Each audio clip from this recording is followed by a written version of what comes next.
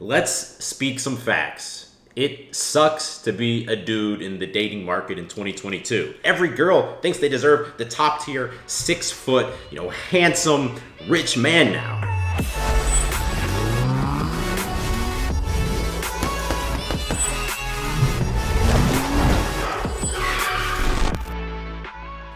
What is going on?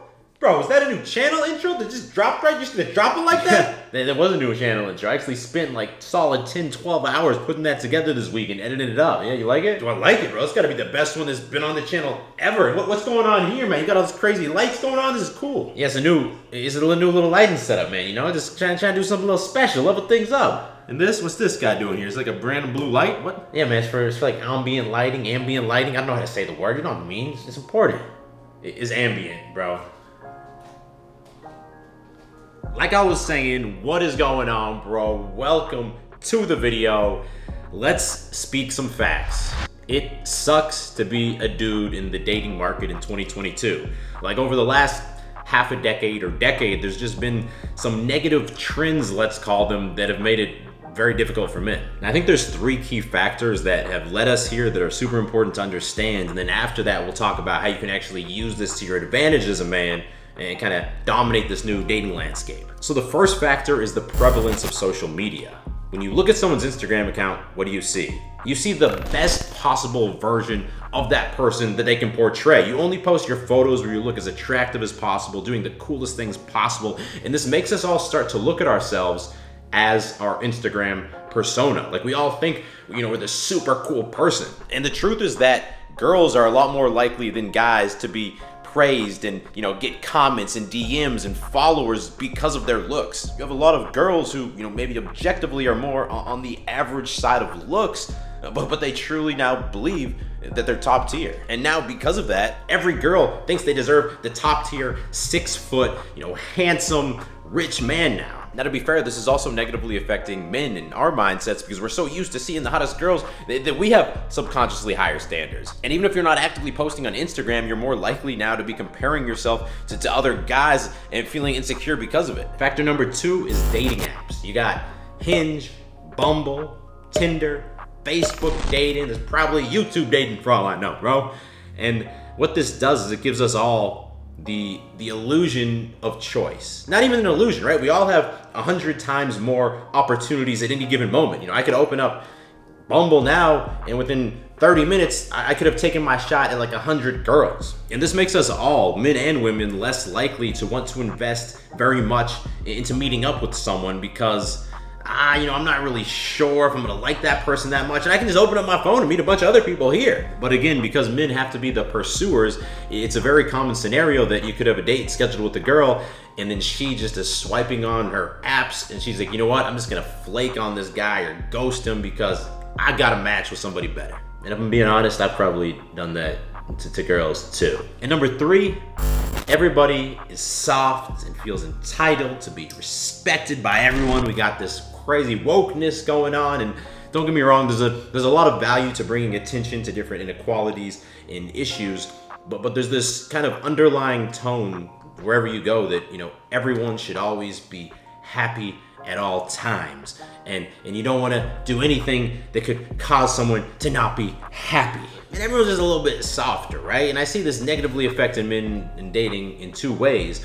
One is that I, I hear guys a lot say like i just don't know if i should like approach that girl in this scenario because what if like what if she takes it the wrong way and she doesn't like it? And then i like i just don't know. That seems scary now. But also if you get rejected by a girl you really like that can hurt your feelings. You know i've definitely been there before. And then you know that's just another reason that as a man you might just completely take yourself out of the dating game because you don't want to get your feelings hurt anymore. I, I hate to keep interrupting you like this but i was like trying to stream my movies and stuff and it's just not working anymore. Oh so that was you who put your streaming services on my credit card. Oh that was that was your card inside of your wallet? That was mine? Yeah, inside of my wallet, my card. Thankfully, I got Truebill on my phone, man. Truebill? Yeah, man, that's how I manage all my finances and, and catch people like you, apparently.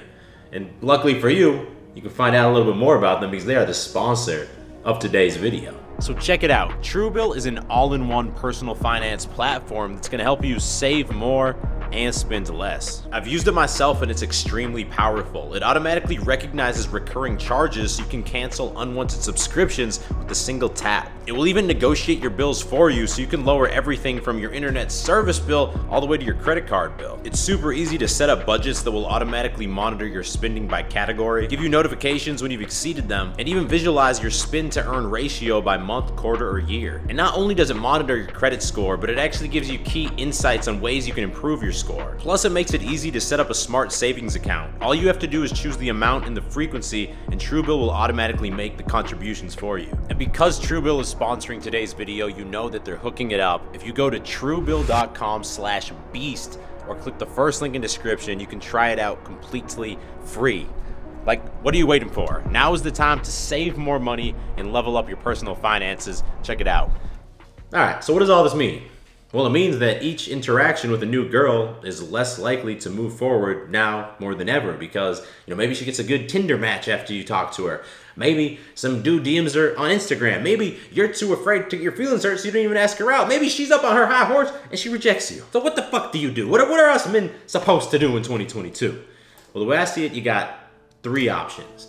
Option one is the good old MGTOW, as men going their own way. You basically decide that, you know what, this mess of dating is not worth my time, my anxiety, and I'm just gonna make the choice to focus on other parts of my life and not pursue women. Now, there's nothing wrong with that, but that is not the decision that I personally would ever make because I think there's a lot of value in female companionship. You know, not just in the bedroom, uh, but but in all the other experiences that can come with that, and I just wouldn't want to shut the door on that completely. Now, an alternative option is not to completely close the door, but to just basically be like, I'm not going to approach women. You know, I'm going to let them come and fall in my lap, and that can work if you're a guy who has a lot of status. That's the only time that I've seen you know attractive women just fall into a guy's lap. But even in that case, if you are a guy with a lot of status and you just started to, uh, to actually pursue girls that you liked, it would immediately open up your pool from just a few girls to, to a huge amount. Opción número dos. You follow your basic primal, you know, instincts and insecurities, and you just latch on. You, you latch on to, to any girl that seems like a remote option. This is the strategy that I followed for years. And uh, it just it doesn't work bro because you start to get really excited that this girl you know in, in your class or at the gym or this girl you matched with she's gonna be your next girlfriend. She's perfect. She's awesome. And then you you start to invest all this time into to, to, to texting her to thinking about her. And then you know kind of like we explored it's just it's just not likely to work out. And then you get heartbroken depressed. Maybe back in the 1950s when your grandparents were on a horse and buggy th- that approach worked but not not in 2022. Option three is that you use all of this information to your advantage. And the way you do that is by developing a system that allows you to quickly funnel through all of these girls who it's just not going to work out with so you can only you know focus your time on hanging out with the girls who actually want to hang out with you. And the way you do this is pretty simple. You know when you match with a girl on an app or you see a girl you want to talk to at the gym or the grocery store or wherever you just make the move as soon as possible. That means making the approach and talking for one or two minutes or you know sending one or two messages back and forth on the app and then asking the girl do you want to hang out sometime this week and yes, at this point, a lot of girls are gonna reject you or say they have a boyfriend, and that is a good thing. You just filtered out a bunch of girls who, who aren't gonna make it through the funnel. And once you get the contact info, you make fast moves again. After a couple texts back and forth, you ask, hey, do you wanna hang out later this week? Okay, cool. Does Wednesday or Thursday work for you? And boom, you set up the date. And yes, a lot of these girls will stop texting you back or they'll flake on the date, but that is a good thing because you just filtered out some more girls who, aren't serious without having to waste two or three weeks texting them. But bro, you should text them for longer because that's gonna build more comfort and they're gonna be more likely to show up on the date. That's something I thought for a while, but that's just not how it works. Like, the reason the girls are flaking are, are these societal pressures that, that, we talked about earlier. It's not because she needs more comfort. There's just some girls who just aren't gonna show up. And this should go without saying, but all this is gonna be a lot easier for you if you level up your life. Hit the gym, work on your style, make more money, and all of these, you know, Instagram societal pressures are actually gonna make girls more likely to, to be into you. And once you have a girl who's actually hanging out with you, keep it casual until proven otherwise. You know, don't get super excited. Oh, this is the one. This is going to be my next girlfriend. Let's plan that next vacation.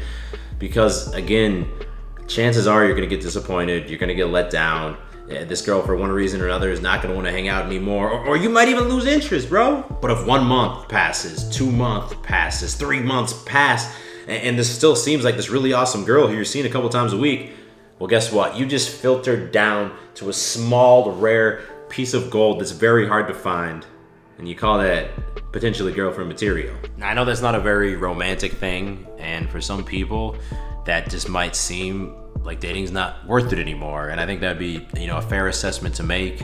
But at the end of the day, the most important thing to do, you know, with any situation is to always like accept reality and then adapt to it. Like that's all you can do unless you just want to give up, you know? Those are your choices. Anyway, I hope all that made sense. I hope you guys enjoyed this this different style of video, very different from typical How to Beast. Like almost the opposite. You know, drop a comment, let me know what you thought about this style of video and what you thought about the new intro. If you're someone who's working to level up your dating life and meet more girls, I do have a private coaching program, the Beast Dating Coaching Program. You know, we've helped hundreds of guys over the past couple years. Just between the amount of dates that I've been on in the past like two months compared to the last like 10 years, has it's insanely different. Like I'm starting to meet more girls in per- person. I've gotten a few numbers this week just like walking around going about my life downtown. You know it, it really has changed my life. Link in description to learn more about that and apply now. And if you made it to the end of this video smash the thumbs up button. Seriously i appreciate y'all and i will talk to you